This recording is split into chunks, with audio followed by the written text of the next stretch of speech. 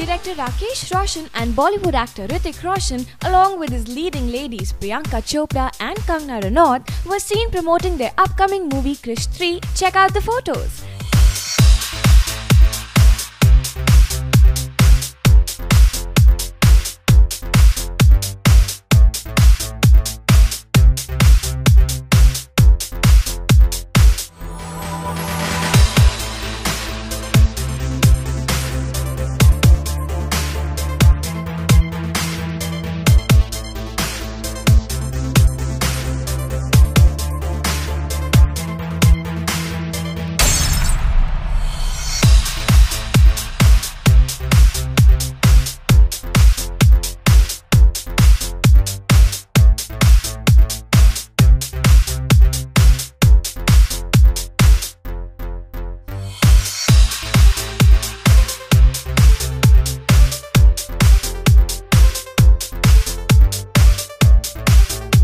Think Krrish 3 will be a hit? Like this video, write in your comments and don't forget to subscribe to Bollywood Caught in Action.